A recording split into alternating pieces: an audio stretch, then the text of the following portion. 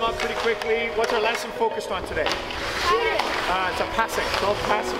A really good hockey player knows how to move the puck really well, and they know how to move the feet really well. So, they're really good at moving the puck today.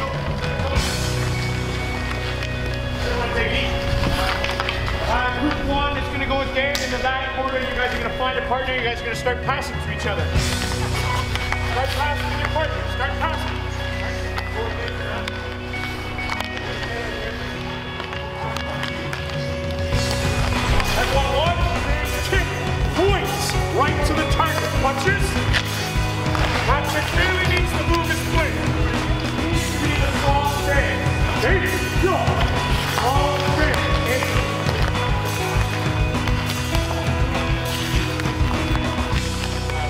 Much my bottom hand doesn't work. I sweep it in, I sweep it out. Watch my toes.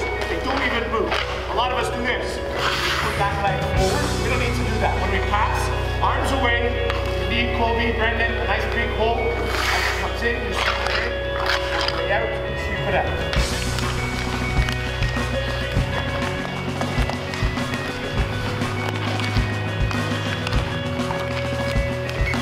Baseball player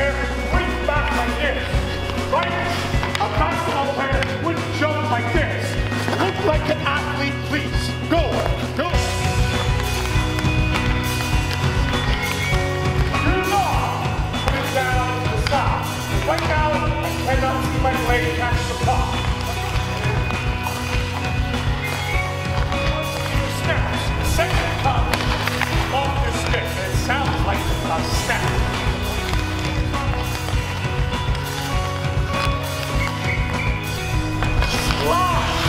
But don't come out of your stick.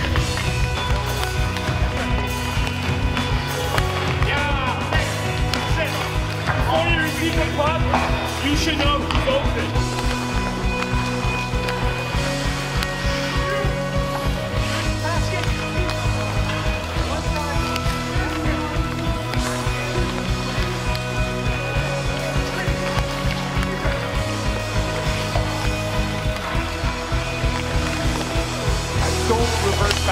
Back to what we were doing before. Have to keep a strong stance. Just think about this. Would Sidney Crosby ever receive a pass like this? How about like this? Absolutely. Right? There's a huge difference in what this looks like, a high hockey player, compared to this. It looks like an NHL.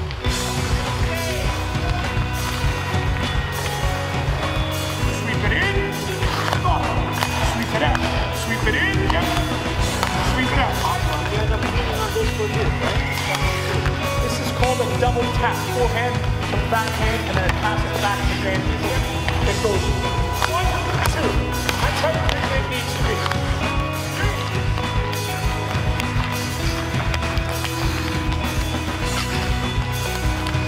His job is to try to keep his feet moving as he receives the pass. Watch this. When I give him the pass, you can give me a tape-to-tape pass.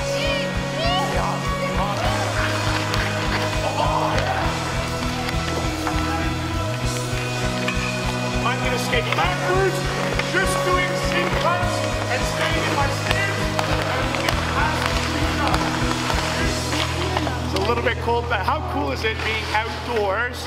Kind of feels like a winter classic in a way, right? There's nothing better. It doesn't feel doesn't feel any better than this. Everybody make sure you guys say thank you and give a high five to Patryck and Dan. Give a high five to me. Say thank you to your parents and let's hop off. Great work. Great work.